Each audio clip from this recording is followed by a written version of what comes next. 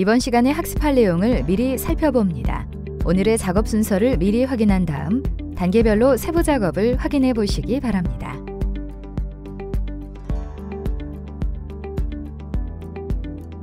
자 이렇게 다 구워진 스콘을 냉각하기로 들어가도록 하겠습니다. 이렇게 냉각판에다가 옮겨서 냉각을 하도록 하겠습니다.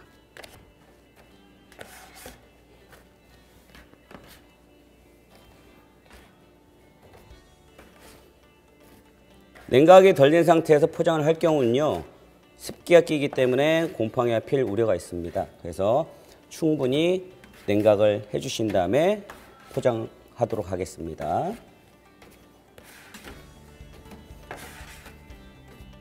자, 이렇게 1시간 정도 실온 냉각을 시킨 스콘을 이제 포장을 하도록 하겠습니다.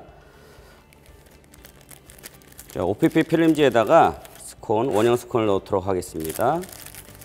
하나씩 담고요.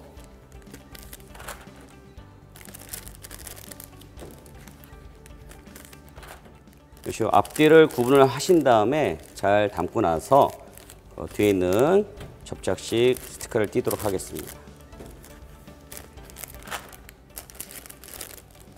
하신 다음에 여기 접착식을 띄워가지고 이렇게 붙여줍니다. 그러면은 이렇게 동그랗게 제품이 나오도록 합니다.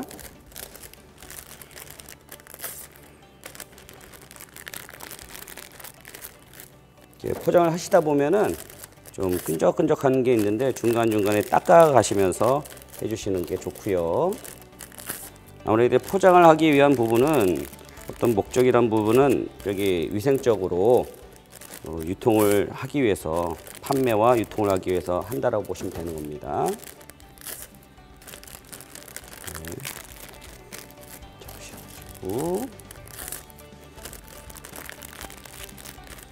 되셨으면은 삼각형 스콘은 이게 두 개씩 담도록 하겠습니다. 원형 스콘 하나씩 담았고요.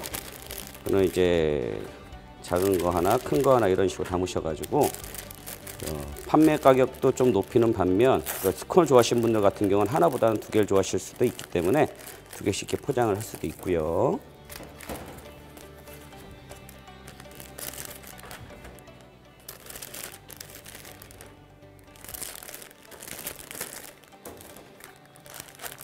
쫙 당기셔가지고 식으로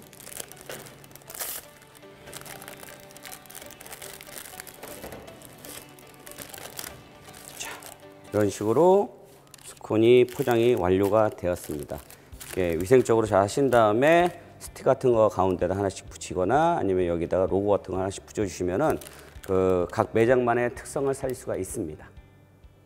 보통 이제 생산 일자와 이제 포장 일자만 잘 체크해 주시면요. 이대로 어, 실온 상태에서 일주일 정도 보관이 가능합니다.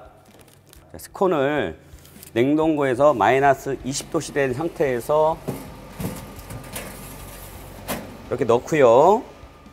그 다음 습기가 끼기 때문에 종이를 한번 이렇게 덮으신 다음에 문을 닫고 이 상태로 대략 두 달 정도 저장을 하면서 유통을 시킬 수가 있습니다. 자, 이게 제품을 유통하기 위해서는 일단은 브레드 박스라는 음, 박스를 활용해 가지고 유통을 시킬 건데요. 이게 실온 유통이냐 아니면은 냉장이나 냉동 유통이냐에 따라서 포장법을 달리합니다. 예를 들어 실온 유통 같은 경우는 그냥 바로 담으셔도 되고요. 냉장이나 냉동 유통일 경우는 이 자체적으로 포장만 그대로 들어가면은 습기가 끼기 때문에 보통 일반적으로 바닥에다가 종이를 하나 깔아줍니다.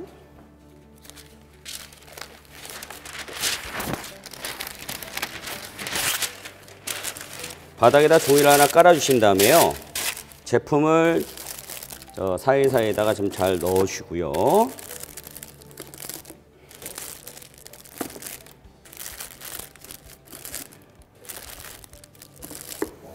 그대로 제품을 들어가지고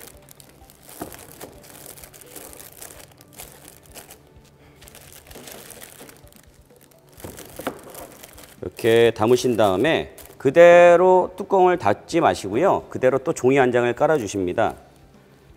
이 목적은 뭐냐면은 냉동이나 냉장 같은 경우는 이제 온도가 낮은 온도로 유통이 되기 때문에 습기가 껴버리면 이 제품에 대한 부분이 살짝 미생물 번식이 우려가 있기 때문에 다시 한번 이렇게 깔아주신 다음에 그 다음에 이렇게 브레드 박스에 뚜껑을 덮어주시는데 여기서 어, 생산 일자와 포장 일자, 유통 일자를 정확하게 명시를 해주시면요. 아무래도 어, 유통한 데 있어가지고 이게 어, 날짜별대로 정확하게 어떻게 경로가 됐는지를 알 수가 있습니다. 그래서 다시 한번 확인해 드리지만은 이렇게 종이를 깔아 주셔야지만 이 습기가 거의 안 낀다고 보시면 됩니다. 그래서 꼭 이렇게 뚜껑을 잘 덮으신 다음에 유통을 그대로 해 주시면 됩니다.